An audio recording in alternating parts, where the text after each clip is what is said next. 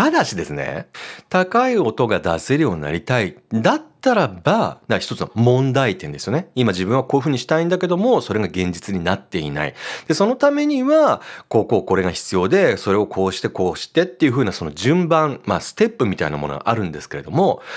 問題点として認識している人は、あ、じゃあこれをすれば良くなれるのか。で、素直にそれをやるんですよ。やればそのまますぐできるようになるわけですよ。だけども、問題点っていうふうに認識しないで、もうできるようになりたい、できるようになりたいっていうふうにしか考えられない人っていうのは、まず最初に基礎的な発声、その正しい腹式であるとか、そういったものから低音がしっかり出せるようにっていうのがもうめんどくさい。とにかくすぐ早くもう楽に高い声出せるようになりたいだけなんだっていうふうになってしまったら、その正しい方法があってもそれを順番通りやらなければやっぱり結果は出ないんですよね。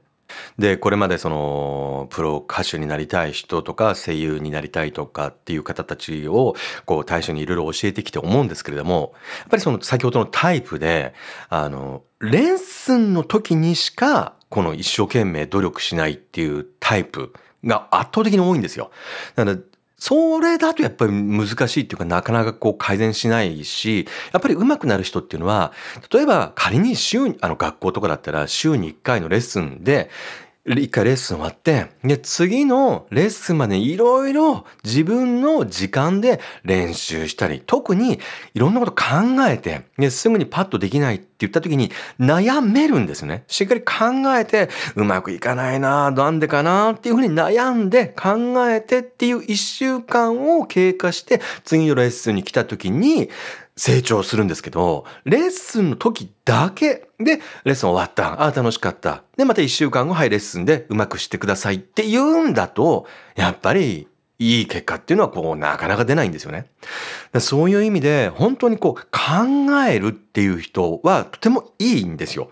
で、人見知りにしても緊張にしてもそうですけども、多くの方だ、これに該当する方っていうのは、つい悩みませんか？特にそんな悩まなくてもいいよとかって言われても、そんなこと気にしなくてもいいんじゃないのって言われても、つい悩んだりしません？そういう傾向っていうのはとてもいいんですね。